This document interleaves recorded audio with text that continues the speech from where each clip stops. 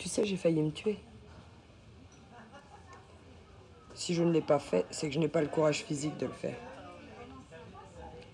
S'il suffisait de lever le petit doigt pour retourner au néant, je le ferais. Tout le monde le ferait.